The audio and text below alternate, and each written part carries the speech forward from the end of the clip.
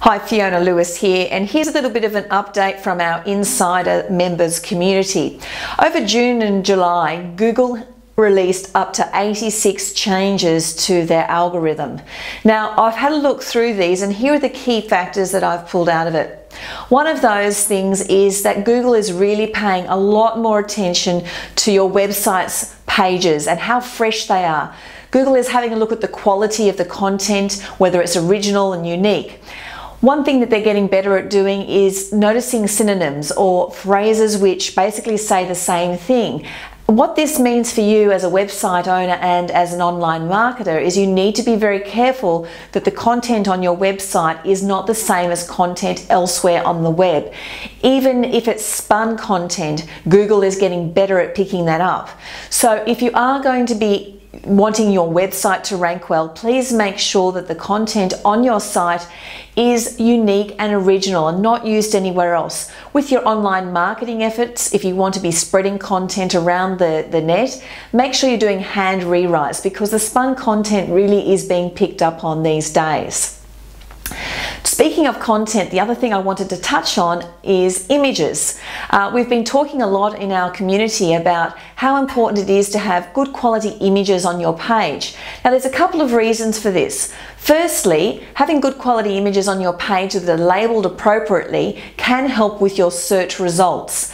The other thing is that they are more popular to people and the human eye. If you've got a really catchy image or something that is original that you have created, then people are more likely to like your page, share it, perhaps even pin it on Pinterest, which is something that is becoming a really, really big wave. So if you want to take part of this Pinterest wave and get your content shared on there, which, which, which does in fact then create a backlink back to your page, think about how you can create engaging images on your posts. One thing that has become a really big topic of discussion in our community is backing up. And generally, when we speak about backing up, we're talking about backing up your data.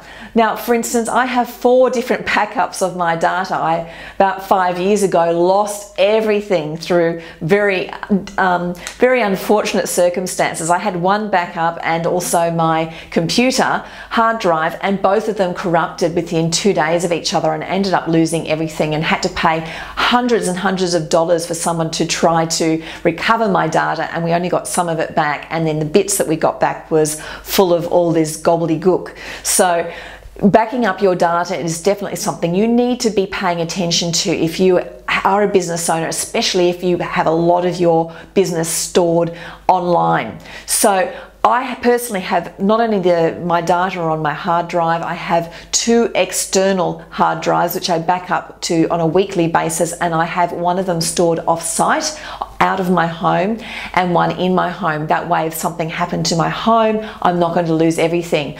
I also have two backups in the cloud. So I back up to Google Drive and to Dropbox.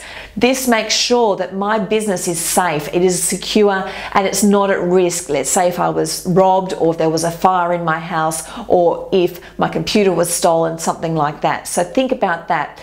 But there's other ways you need to be thinking about backing up. One is with your team.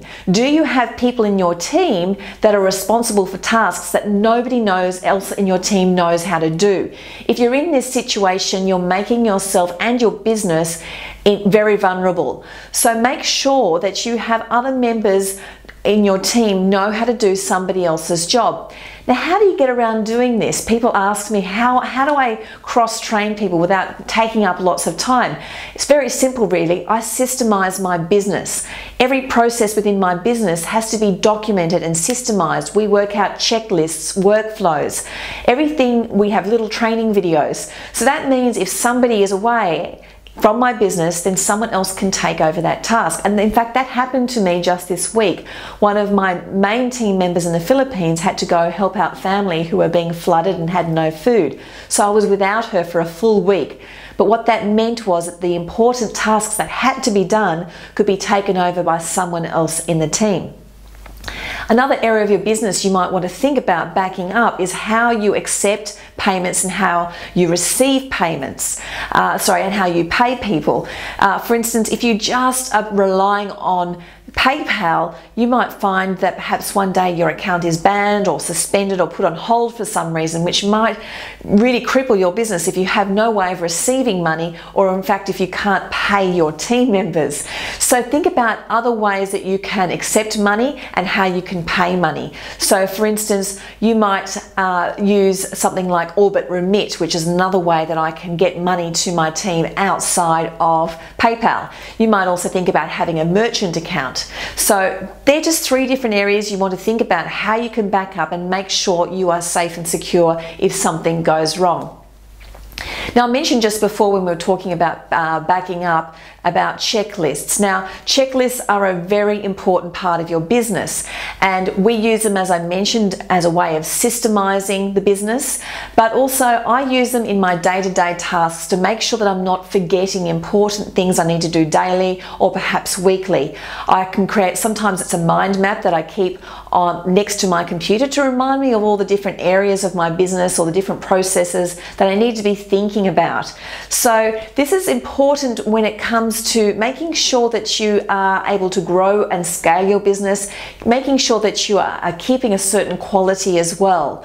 It also obviously is good for systemizing in order to be able to show other people how to do things within your business. So, this is something that I'm training the people within my community, the people who I mastermind with, and the members within our coaching program as well. So, that's our update for this week to give you a bit of an idea of what we're talking about, and we'll see you in the next update.